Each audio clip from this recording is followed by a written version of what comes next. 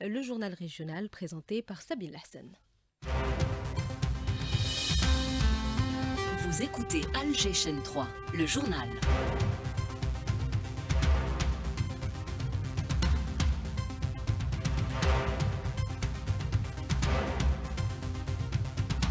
Madame, Monsieur, bonsoir. À la une de l'actualité, l'Algérie a relevé les défis multiples et complexes en matière de développement économique et social. Affirmation du président de la République dans un message lu en son nom par le Premier ministre à l'ouverture du séminaire international Acquis sociaux et enjeux économiques. Nouvelle aire automobile en Algérie, l'usine Fiat inaugurée ce matin à Oran, dotée d'une capacité de production de 90 000 véhicules par an. Nous ferons point dans un instant. La numérisation au service des retraités Taqaoudi, lancée par la CNR, un service qui facilite les procédures. Nous irons à Tébessa. Commémoration historique ce 11 décembre, des manifestations qui ont porté la voix de l'Algérie haut et fort sur le chemin de l'indépendance. Nous écouterons dans quelques minutes le témoignage de familles de Moudjahidines forcées à l'exil en Nouvelle-Calédonie. Sport, football, quatrième tour régional euh, de la Coupe, euh, centre de la Coupe d'Algérie, avec à l'affiche le derby euh, RC Kouba et USM Harash.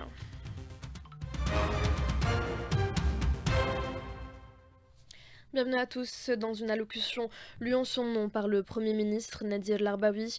À l'ouverture du séminaire international Acquis sociaux et enjeux économiques, le président de la République a souligné que l'Algérie était confrontée à de multiples défis qu'elle a réussi à relever avec force et sérénité afin de remédier à l'accumulation des conditions économiques, sociales difficiles et de construire une économie compétitive en lançant un vaste chantier de réforme économique. Abdelmajid Tebboune a évoqué l'attention particulière portée à la politique de l'emploi. On écoute le Premier ministre, propos recueillis par Ibti Aladoun.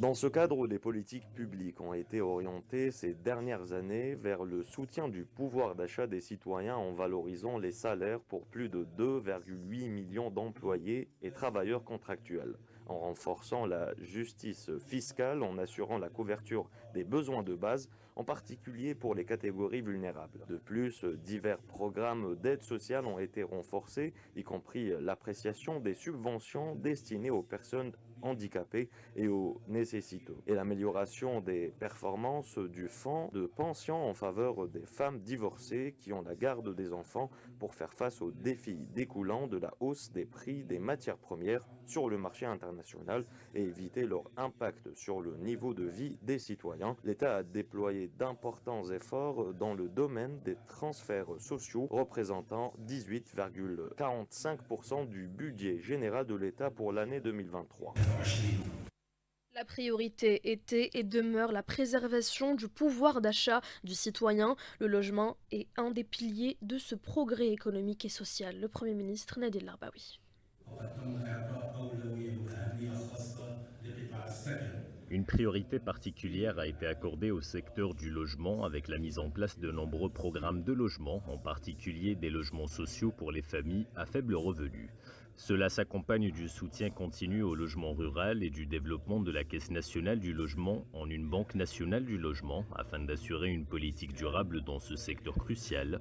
De plus, des efforts considérables ont été déployés pour améliorer les infrastructures d'eau, de gaz et d'électricité à travers le pays en tenant compte des défis climatiques mondiaux pour assurer la sécurité alimentaire et hydrique.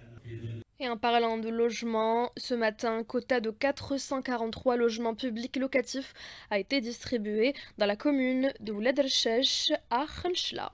Dans le souci de préserver le pouvoir d'achat, des instructions en vue de garantir la disponibilité des viandes rouges et des légumineuses ont été données en assurant l'équilibre du marché. Décision prise d'ailleurs par le chef de l'État lors euh, du dernier conseil des ministres, le transfert immédiat des projets de silos de stockage des céréales au Wali, parallèlement euh, à l'élargissement des capacités direction Bouira où des chantiers sont en cours. Aris Chachoua. Wilaya de Boura, de par sa vocation essentiellement agricole, est programmée parmi les 14 wilayas concernés par le renforcement des capacités de stockage des céréales. Le directeur de la CCLS parle de la réalisation de huit nouveaux centres de stockage de capacité de 400 000 quintaux le centre. Ils seront répartis sur les communes de Atmansour, Tarzout, L'Hachimia, El Asnam et Birbalou. Le même directeur fait savoir que les instructions des hautes autorités de l'État exigent la livraison de ces équipements avant la campagne moisson-battage 2023-2024. Aussi, deux silos de capacité d'un million de quintaux chacun sont au programme, l'un à El Hashimia et l'autre à El Asnam. Pour rappel, actuellement la CCLS de Boura dispose d'une capacité de stockage d'environ 600 000 quintaux dont des hangars relevant de ses services. Et l'Ouali de Boura, en vue d'augmenter cette capacité, a procédé à la réquisition d'autres espaces, notamment aux unités d'Agrodiv et de Lidimco, ce qui permet de hisser le stock à un million de quintaux. Boura, Aris Chachoua, Alger 3. Un recensement dans le domaine agricole prévu l'année prochaine, il apportera des statistiques fiables qui permettront d'établir des stratégies nationales. Le ministre de l'Agriculture Youssef Sherfa en parle à Sami Aloun.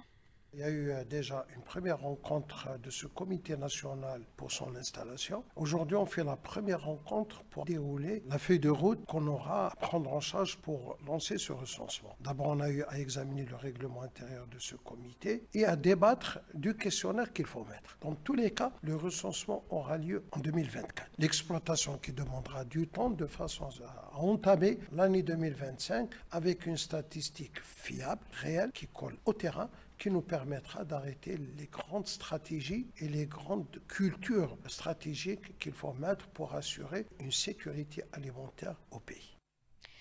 Industrie automobile en Algérie, c'est fait. L'usine de montage automobile de Stellantis qui fabriquera des voitures de la marque Fiat est désormais opérationnelle. Elle a été euh, inaugurée ce matin par le ministre de l'Industrie à Tafraoui. L'usine se déploie sur 40 hectares et promet de produire quelques 90 000 véhicules par an. Le compte rendu est signé Mohamed Hamza Belmadani. Cette usine aura une capacité de production qui est estimée à 90 000 véhicules par an. Elle va générer quelques 600 emplois directs et devra atteindre 2000 postes dans les trois prochaines années. Amina, la première cliente de l'usine de Tafraoui, était heureuse de recevoir les clés de son véhicule.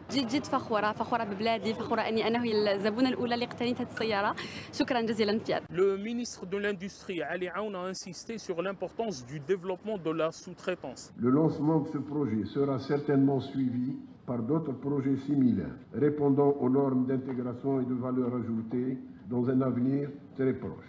Aujourd'hui, attirer les investissements étrangers dans l'industrie automobile est devenu l'une de nos priorités, étant donné que la fabrication des véhicules est essentielle pour soutenir divers secteurs et relancer l'économie nationale. Notons qu'une lettre d'intention concernant la deuxième étape du projet a été signée en marge de la cérémonie. Elle permettra la création d'une académie Stellantis en Algérie, selon le DG du groupe Carlos Tavares. Je suis ravi d'annoncer une étape clé de notre partenariat, car Stellantis a signé, comme cela a été mentionné, une lettre d'intention avec le ministre de l'Industrie, consolidant notre engagement envers la croissance de ce projet industriel et l'exportation. Une étape 2, ambitieuse en termes de capacité de production, de taux d'intégration locale et de création d'une académie Stellantis en partenariat avec les ministères algériens de l'éducation et de la formation professionnelle associés à ces conditions de succès. Il est à rappeler qu'une assiette foncière de 40 hectares sera mobilisée pour abriter les fournisseurs locaux et les sociétés de sous-traitance dans le domaine de l'automobile.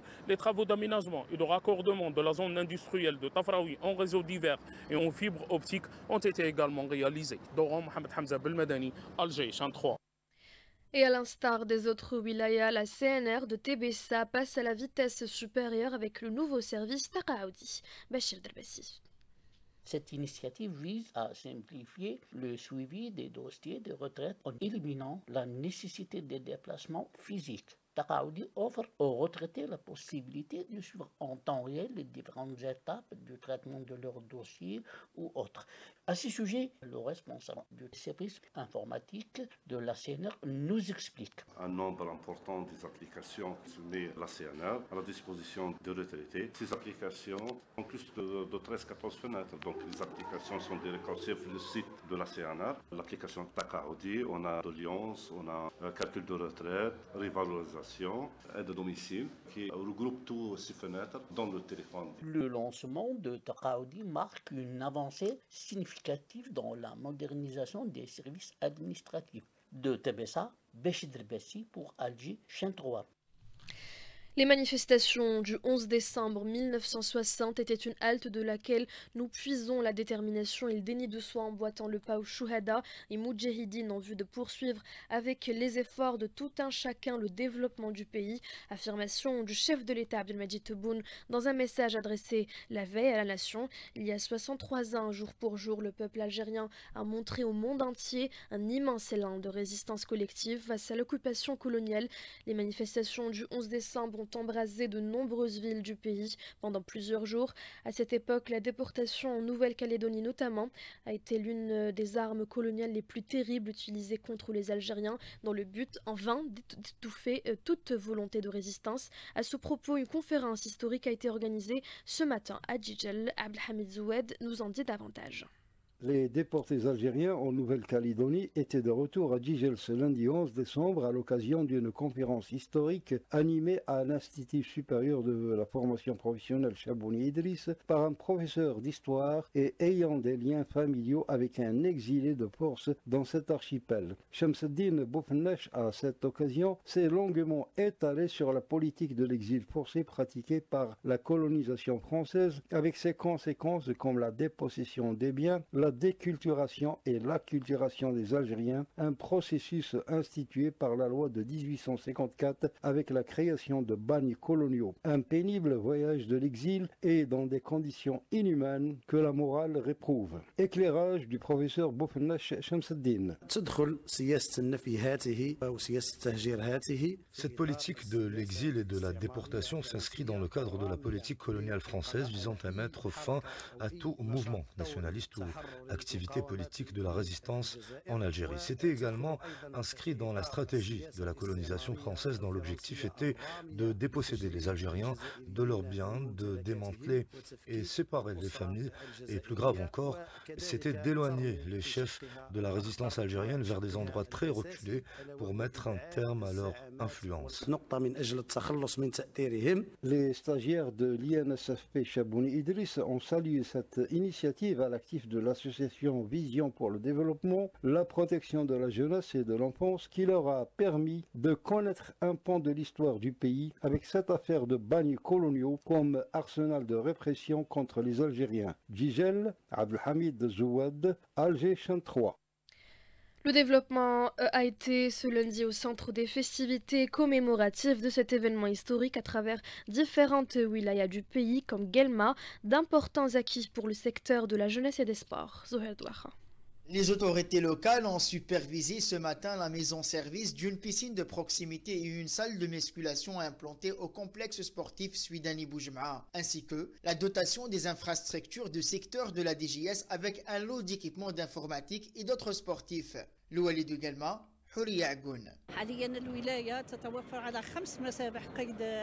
la wilaya de Gelma compte aujourd'hui euh, cinq piscines déjà fonctionnelles, dont trois semi-olympiques. Concernant les équipements acquis, il s'agit d'un lot important comprenant plusieurs outils à l'image de 250 lits pour les maisons de jeunes et les auberges, 140 PC de bureau, 18 imprimantes, 40 data shows. Un budget de 200 millions de dinars a été alloué à tout ce matériel qui sera réparti de manière équitable sur les 34 communes. Cela indique le grand intérêt qu'accordent les hautes autorités du pays à la catégorie des jeunes.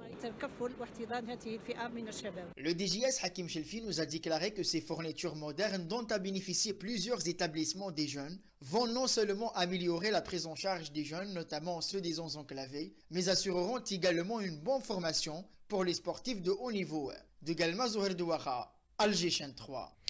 On passe au sport en football. Le derby algérois entre le RC Kouba et l'USM Harrach, qui est prévu demain, mardi à 14h au stade Mabrouki Salem Dorwiba, sera l'affiche du quatrième tour régional centre de la Coupe d'Algérie de football, marqué également par plusieurs autres duels intéressants, dont le choc olympique Akoubou GS Borjimnail.